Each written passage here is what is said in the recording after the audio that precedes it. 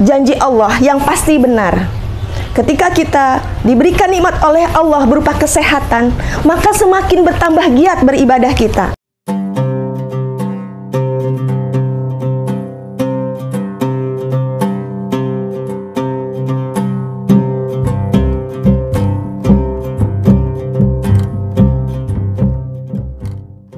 Bismillahirrahmanirrahim Assalamualaikum warahmatullahi wabarakatuh Alhamdulillah.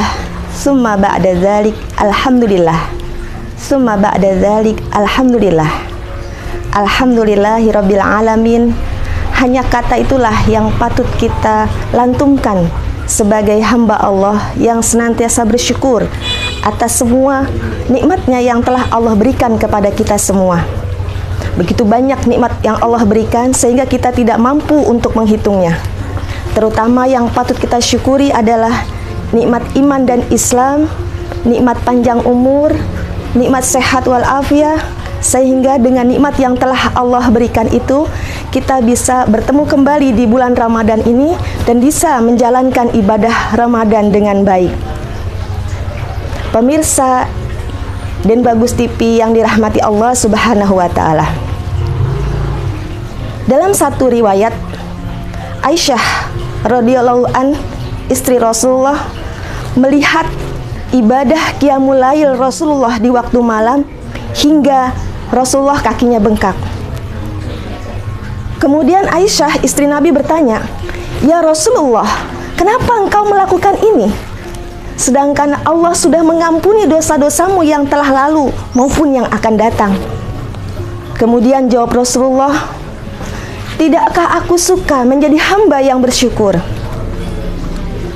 Dari hadis ini, Rasulullah Shallallahu Alaihi Wasallam yang sudah dijamin masuk surga, yang sudah maksum, yang sudah diampuni dosa-dosanya, baik yang lalu maupun yang akan datang, tidak berdiam diri saja, tapi justru melakukan ibadah dengan lebih giat lagi.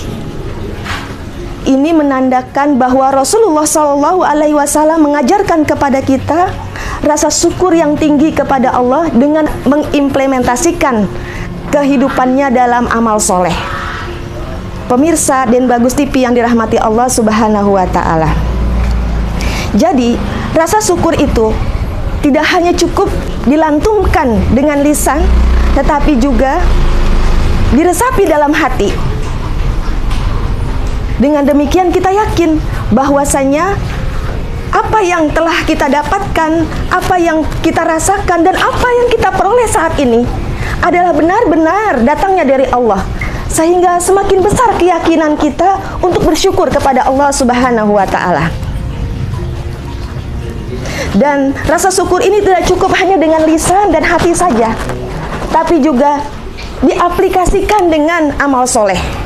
Sehingga ketika kita pandai bersyukur dengan lisan kita, dengan hati kita, dan dengan amal soleh yang kita lakukan, insya Allah Allah akan menambah nikmat-nikmatnya yang lain. La in syakartum la azidannakum. Jika engkau bersyukur, maka pasti akan aku tambah. Itu janji Allah dalam Al-Quran.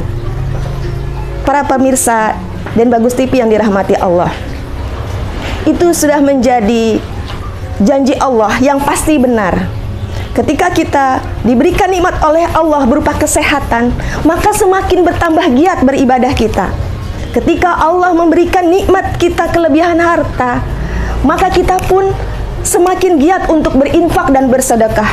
Ini menunjukkan bahwa kita bisa mengimplementasikan rasa syukur kita dalam amal soleh dalam kehidupan kita sehari-hari. Pemirsa, mudah-mudahan apa yang kita peroleh, apa yang kita dapatkan dan apa yang kita rasakan saat ini, mudah-mudahan bisa kita wujudkan rasa syukur kita dalam bentuk amal soleh sehari-hari. Demikian apa yang bisa sampai saya sampaikan semoga apa yang kita lakukan ibadah yang kita lakukan bisa kita syukuri dengan amal-amal soleh selanjutnya sehingga kita menjadi hamba Allah yang senantiasa istiqomah dan memperoleh kemenangan setelah uh, Ramadan ini. Wabillahi taufiq wal hidayah. Wassalamualaikum warahmatullahi wabarakatuh.